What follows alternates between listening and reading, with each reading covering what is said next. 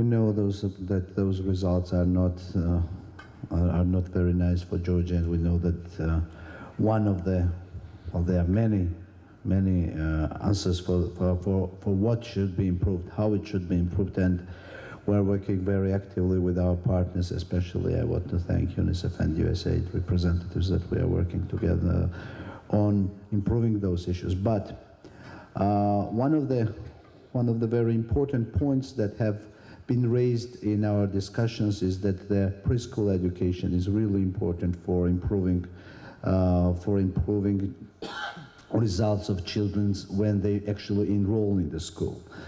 Um, having having this in mind, it it naturally uh, it naturally con it, it's a natural link that the uh, that the educational system, the school system, should be very uh, uh, there should be a synergy between preschool education and the school education, and there should be a unified and a comprehensive approach to what we do in preschool uh, preschool years.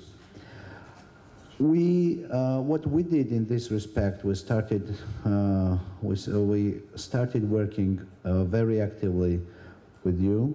We have actually exercised a very uh, fruitful partnership with uh, our NGO sector, which is, which is at least on this issue, we have good partnerships with NGO. I guess this is such an important, important issue that everyone is trying to go to consensus, and we have we are enjoying an uh, fruitful partnership with the NGO sector. And what we did in the ministry, we created a special department, uh, which is trying to create and to work out a unified approach together with donors, with uh, with NGO sector, and especially with the parliament. Tina Khidasheli was present here. She's actually very active and very uh, um, very much helping us uh, to work uh, to, to, to, to push those issues to the parliament.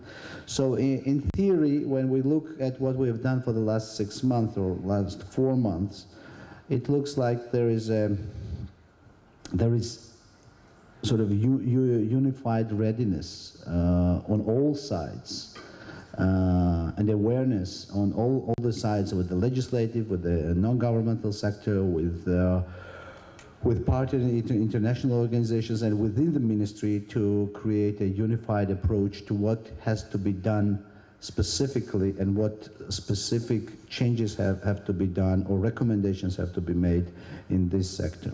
Now, you know the system is, uh, uh, in this case, we have sort of uh, different management. The Ministry of Education and Science does not manage the under uh, the, the preschool education.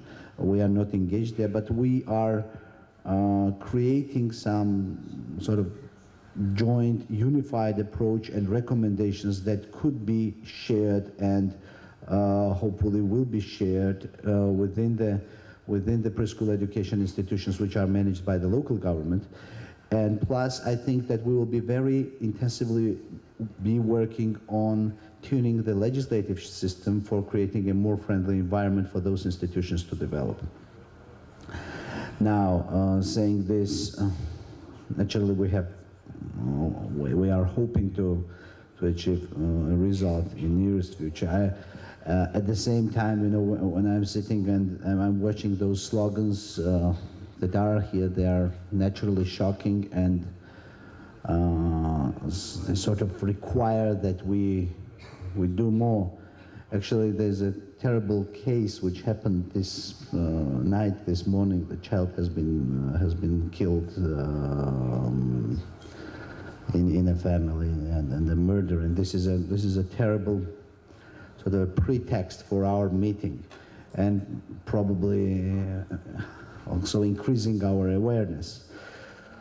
Uh, and naturally, we are all very much concerned and very much looking to improvement of these issues. But uh, to sum up, I have an impression that uh, at least on the issue of preschool education, though it's not an issue specifically of the Ministry of Education and Science, but at least on this issue, we have a very fruitful partnership and, uh, and, and collaboration with all parties engaged, and we hope to reach uh, we hope to reach some positive results in the nearest future together with them.